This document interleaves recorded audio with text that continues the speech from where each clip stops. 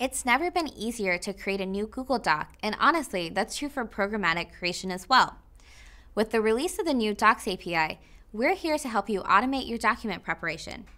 Crafty developers have used the Drive API in the past, but I'm Anu Srivastava, and today I'm going to show you how much better it is with the addition of the Docs API. Let's talk invoices. It's the end of the month, and you've got to create an invoice for every customer that you have, and hopefully that's a lot. Clearly, you're ready to move past manual creation. And luckily for you, the document.create method is here.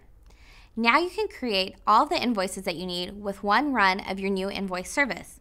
Maybe you've already built yourself a productivity hack.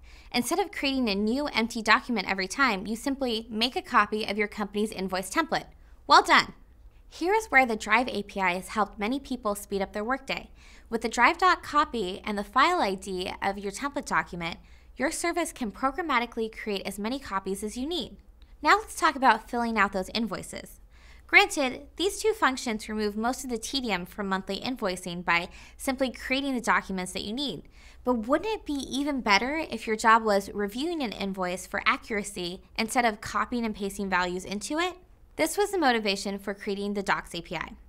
At Google, we want to help you work better. So if the data that you need already lives in a database or even a Google Sheet, then you can use the Docs API to fill out those invoices for you.